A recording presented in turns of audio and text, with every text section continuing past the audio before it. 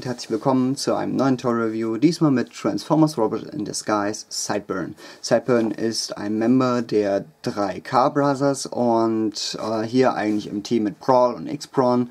Und ja, ich bin sehr begeistert von dieser Figur. Sie wird geliefert in einem blauen Dodge Viper Look und mit schönen Flammen hier vorne drauf. Alles Metallic, also hier keine billige, äh, einfarbige äh, Tönungen drauf, sondern wirklich richtig schön mit, mit Glitzer durchzogen, echt gut.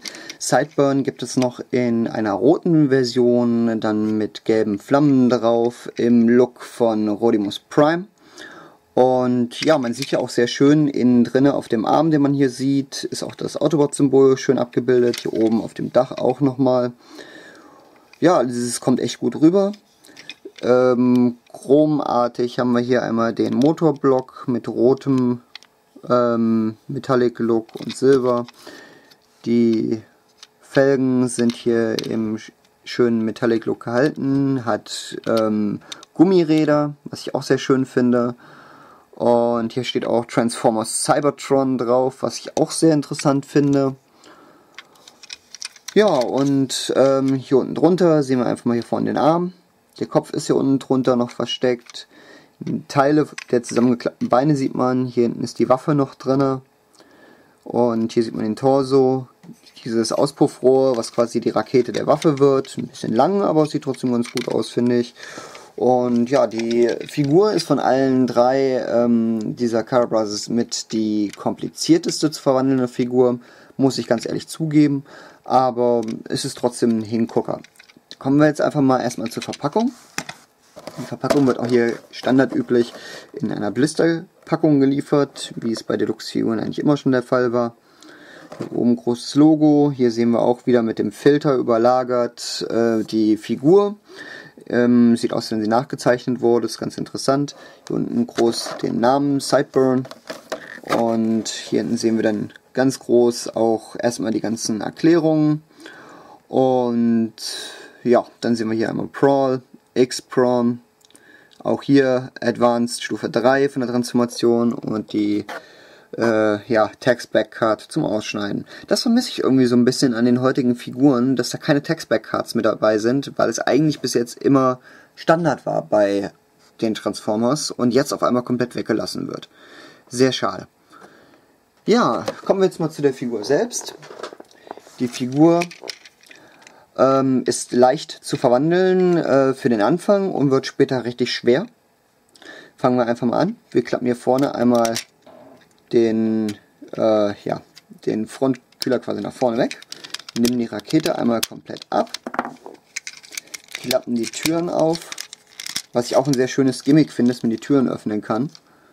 Also das sieht man eigentlich ziemlich selten bei den Deluxe-Figuren. Dann klappen wir einmal hier die Scheibe hier raus. Die ist hier vorne mit so einem kleinen Pin in dem Motorblock quasi befestigt. Dann klappen wir einmal hier die Motorhaube heraus. So. Anschließend ziehen wir hier hinten die Waffe heraus. Die legen wir erstmal zur Seite. Dann lösen wir hier an der Seite mit diesem Packs die Beine raus. Ebenso. So. Klappen die Beine nach unten. So. Jetzt können wir die Beine auch schon mal komplett rausklappen. Und hier unten die Füße einmal rumdrehen. Dann hat diese Figur hier hinten drin eine Waffe, die ich auch sehr interessant finde, denn sie besteht quasi aus zwei Waffen in einem. Wir haben einmal hier diese Waffe, die hier hinten, wenn er sie hier hält, quasi wie als Blaster gilt, mit einer sehr schönen Form, erinnert mich sehr stark an Transformers 4, den Film, äh, an die Waffe von äh, dem menschlichen Hauptcharakter. Ein Schwert, was quasi schießen kann. Und genau so kann man jetzt die Waffe ihm auch so in die Hand geben und dann ist es eine Klinge. Oder halt andersrum, wie man es halt möchte. So, die Waffe legen wir auch erstmal zur Seite. Dann kommen wir jetzt zu der restlichen Verwandlung.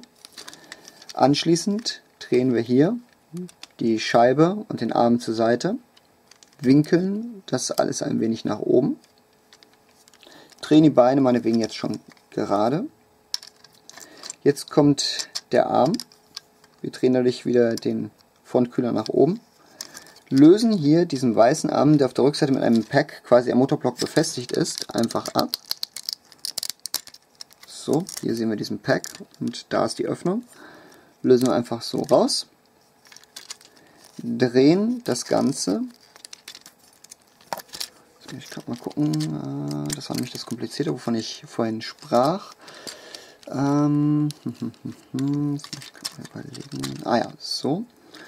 Drehen das so nach oben. Anschließend drehen wir hier das Ganze einmal herum. So. Winkeln dann dieses komplette Teil nach innen, dass der Reifen quasi in der Mitte ist, hinter dem Motorblock.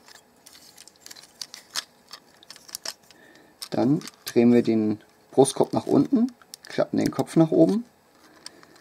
Den Frontgrill drehen wir so zur Seite, quasi als Schulterplatte. So. Bevor wir aber den Brustkorb komplett befestigen, drehen wir hier einmal die Beine, das heißt den kompletten Torso zur Seite. Drehen hier jetzt die, dieses komplette Scharnier hier, wo der andere Arm dran befestigt ist, nach oben. So. Winkeln das jetzt nach innen. Klappen jetzt den Brustkorb nach unten und lassen ihn einrasten. Drehen jetzt den Torso wieder nach vorne. Und jetzt äh, winkeln wir hier diese Scheibe, hier ist ein kleines Scharnier drin, nach vorne und drehen sie nach hinten. Können wir den Arm auch nach vorne drehen. So. Und drehen hier jetzt diese ganze Scheibe einmal so herum. Die Türen werden wir nach unten gewinkelt. Und jetzt so einfach nach hinten geklappt. So. Ja, und schon haben wir quasi Sideburn fertig transformiert. Die Figur ist ähm, ein wenig gewöhnungsbedürftig von dem, äh, wie sie aussieht. Alleine schon hier wegen den großen äh, Hüften. Trotzdem macht die Figur einiges her. Die Bewegungen sind auch ziemlich gut.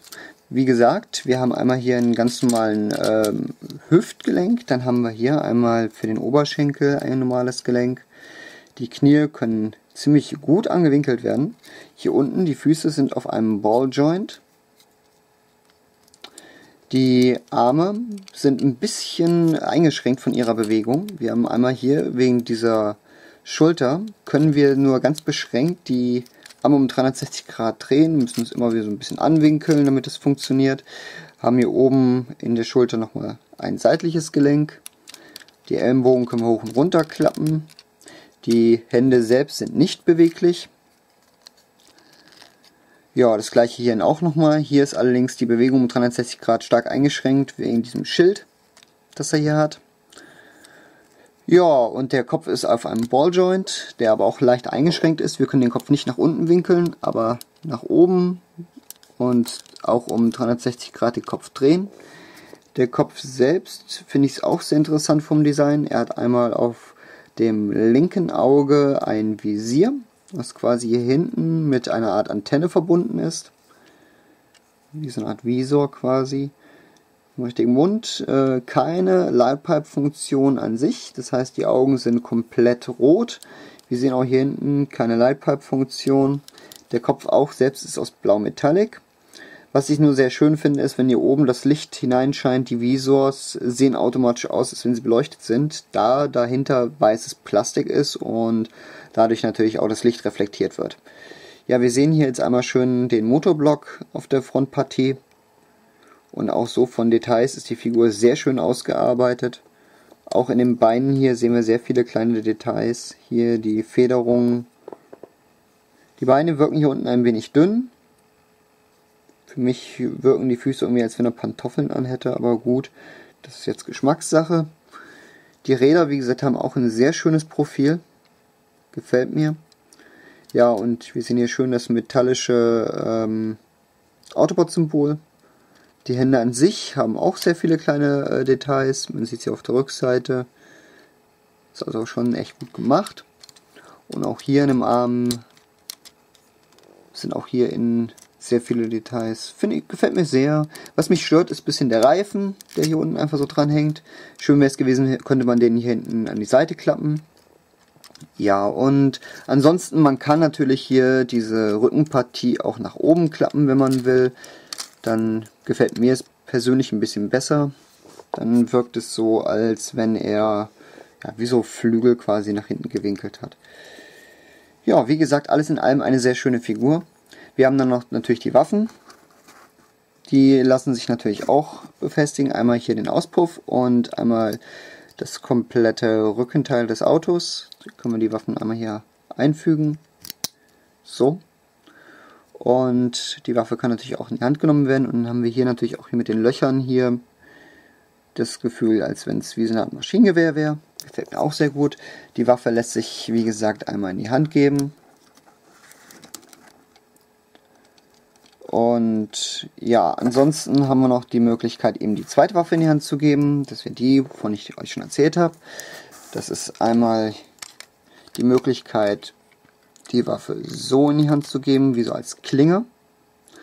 Oder wie ich es bevorzuge, nochmal als zusätzlichen Blaster. So. Die Waffe macht echt was her, gefällt mir und kann im Roboter-Modus natürlich auch noch verstaut werden. Dafür drehen wir die Figur einmal auf die Rückseite und dafür haben wir hier diesen kleinen Pack. Und da können wir dann quasi einmal die Waffe so hinten hinter ihm befestigen. Was ich auch eine sehr geile Idee finde. Sollte es einfach mal bei den Figuren in der heutigen Zeit ein bisschen mehr Möglichkeiten in der Richtung geben. Ja, wie gesagt, die Beweglichkeit der Figur ist enorm. Im Automodus von der Bewertung her würde ich ihm jetzt volle 10 von 10 Punkten geben. Und im Roboter-Modus, da er leider hier durch diesen äh, Schild ein wenig eingeschränkt ist von Bewegungen, ähm, ja, würde ich ihm jetzt nur 9 von 10 Punkten geben, da hier die, das Posing doch stark eingeschränkt wird. Von der Bemalung hier hat die Figur auch volle 10 Punkte verdient. Echt gut gelungen. Sehr viele Details sind ausgearbeitet, einfach spitze. Auch die Bewaffnungen sind echt gut. Alles in allem würde ich hier der Figur ja, 9,5 von 10 Punkten geben und kann sie nur jedem empfehlen. Das war mein Review für heute. Ich hoffe, es hat euch gefallen. Und ja, wenn sehen wir uns das nächste Mal wieder. Und ihr könnt mich gerne abonnieren oder mich weiterempfehlen. Würde mich sehr freuen, wenn ihr mir beim Ausbau meines Channels ein bisschen helfen würdet. Ja, bis dahin, ich wünsche euch was. Euer Rexfor.